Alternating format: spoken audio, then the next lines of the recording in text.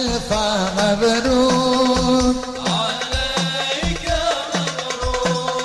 Assalamualaikum warahmatullahi wabarakatuh. Saya Syekh Daulay. Selamat milad buat pesantren Asidikiyah yang ke-33. Semoga jaya selalu semakin berjaya.